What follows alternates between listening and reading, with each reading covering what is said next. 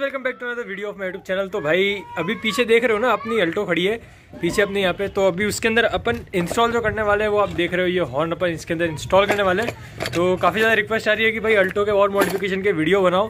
तो मैंने सोचा कि भाई, ठीक है, चलो बना देते हैं। और ये हॉर्न का जो है, ये काफ़ी ज़्यादा लोगों को कन्फ्यूज़न था कि भाई हॉर्न कौन सा लगाओ देखो हॉर्न कोई भी फिट हो सकता है कोई भी गाड़ी के अंदर। अब मैं जो फिट कर रहा हूँ, वो है दोस्तों विंड टोन हॉर्न है ये।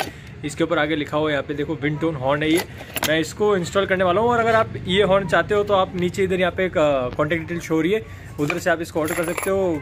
डिलीवरी आपको ऑल ओवर इंडिया कहीं पर भी मिल जाएगी साउंड की। तो ऑर्डर कर देना अगर आपको चाहिए हो तो। मैं इसका साउंड बता दूँगा कि कैसा बचता है। तो अभी पीछे जो अपनी अल्टो इसके अंदर इंस्टॉल कैसे करेंगे मैं दिखाता हूँ आपको इंस्टॉल करने के लिए।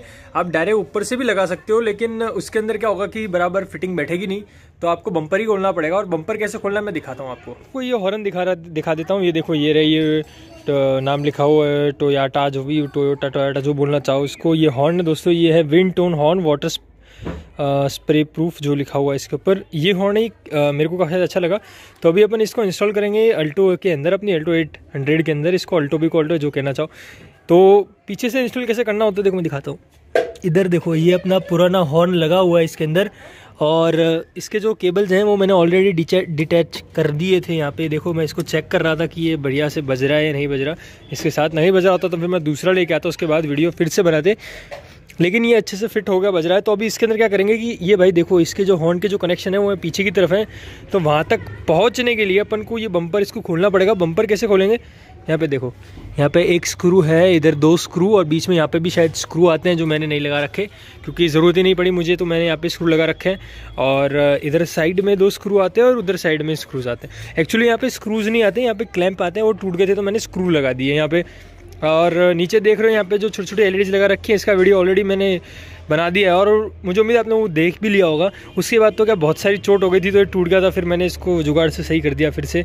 लेकिन कोई बात नहीं, उसके बाद अभी अपन इसको इंस्टॉल करने के लिए बम्पर को एक बार खोल देते हैं और बम्पर खोलने के लिए दोस्तों आपको दस नंबर का टीप आना चाहिएगा। मेरा ये पड़ा, देखो दस नंबर का टीप आना, बस एक ही पाना काफ़ी है ये पूरे बम्पर को खोल के ये हॉर्न फिट करने के लिए। हॉर्न के लिए आपको प्लास की ज़रूरत पड़ सकती है या पक्कड़ जो कहना चाहो उसकी ज़रूरत पड़ सकती है, लेकिन अभी के लिए तो इतना ही, काफ़ी एक बार इसको खोलता हूँ, फिर मिलता हूँ मैं आपसे। तो मैंने बम्पर खोल दिया था और मैं फिर मैं बताना भूल गया था कि अपनी जो नंबर प्लेट होती है, उसके नीचे भी एक बोल्ट आता है यहाँ पे देख सकते हो तो आपको नंबर प्लेट आएगी, खोलनी होगी बम्पर पे जो लगी हुई उसके बाद आपका जो बोल्ट है वो खुलेगा, वो भी दस नंबर का बोल्ट ही आता है। और अब हॉर्न चेंज करने के लिए क्या करना है कि अपने पास देखो, ये यहाँ पे भी दस नंबर का सेम ही बोल्ट है, लेकिन इसके पीछे यहाँ पे एक स्क्रू जैसा कुछ लगा हुआ है तो आपको क्या पीछे उसको खोलने के लिए पीछे ध्यान रखना कि वो गिर ना जाए। एक बार बस ये खुल जाए तो उसके बाद अपना जो ये हॉर्न है अपन इसको लगा लेंगे और इसके साथ अपना क्लैंप भी आया हुआ है। इसके अंदर मैं दिखाता हूँ आपको। ये देखो।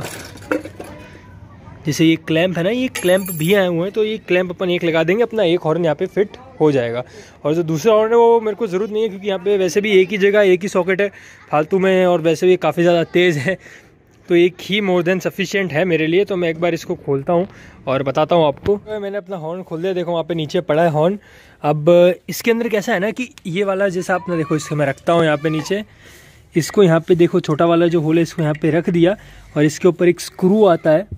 तो आपको बस इसको ऐसे फिट कर देना ये देखो, जैसे मैं कर रहा हूँ ना, इसको बस ऐसे अच्छे से फिट करके एकदम अच्छे से फिट कर देना इसको, ठीक है? मैं एक बार करके मिलता हूँ। तो अभी देख रहे हो ये अपना जो हॉर्न है, ये कुछ इस तरह का लग रहा है। देखो, मैंने इसको फिट तो कर दिया यहाँ पे, लेकिन क्या ना कि मुझे इसका थोड़ा साउंड कम लग रहा है तो मैंने सोचा कि दूसरा वाला हॉर्न जो है, ये भी अपना लगा ही देते हैं। ये वैसे भी ये पड़ा पड़ा वेस्ट ही होगा। तो वेस्ट में से तो अच्छा है कि लगा ही दूँ।